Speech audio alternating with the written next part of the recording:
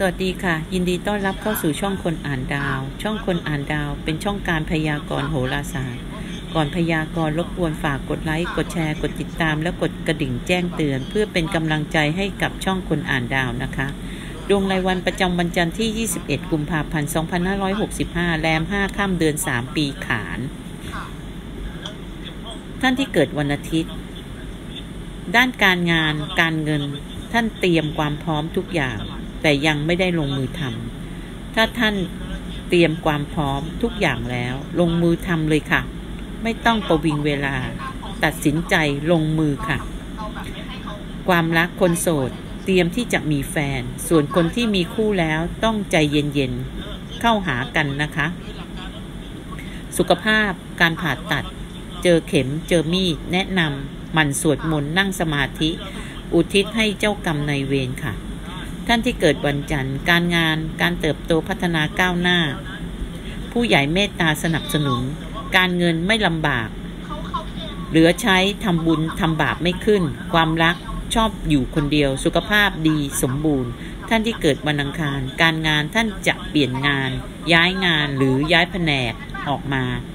การเงินรายจ่ายมีหลายทาง ขัดสนทางการเงิน ความรักช่วงนี้ห่างกัน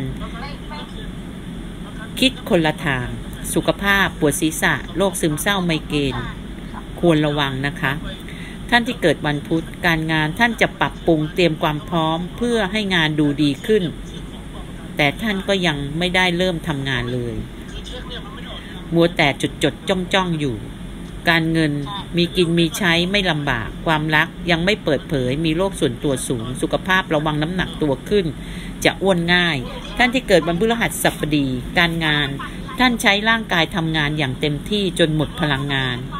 ใกล้เกษียณงาน การเงิน เงินทุนใกล้หมดแล้ว ท่านใช้เงินเปลืองมาก ความรักไม่อยากมีใครหมดพลัง หมดความอดทน สุขภาพอ่อนเพลีย พักผ่อนน้อย ขาดการออกกำลังกาย แนะนำให้ถวายเทียนสูงเกินหนึ่งศอกหนึ่งคู่ พร้อมไฟแช็กสี่อัน ทูบหนึ่งห่อ จะห่อเล็ก หรือห่อใหญ่ก็ได้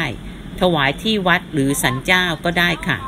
ท่านที่เกิดวันศุกร์การงานให้ระวังจะถูกแทงข้างหลัง จะถูกโจมตี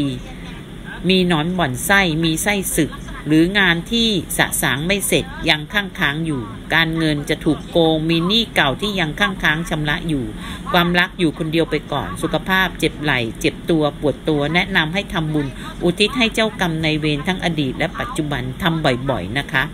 ท่านที่เกิดวันเสาร์การงานช่วงนี้ธุรกิจของท่านไม่ค่อยดี ถูกหลอกลวง ท่านอย่าโลภอย่าประมาทต้องระมัดระวังให้ดี การเงินอันตรายมาก จะถูกหลอกเงิน ถูกตบทรัพย์ จะมีคดีความ ความรักจะตกเป็นเหยื่อเพราะเงิน